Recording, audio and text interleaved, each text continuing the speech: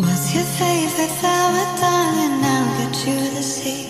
I said, Dandelion, dandelion, that one's so pretty. She's a child, that one's not a flower, that one's just a weed.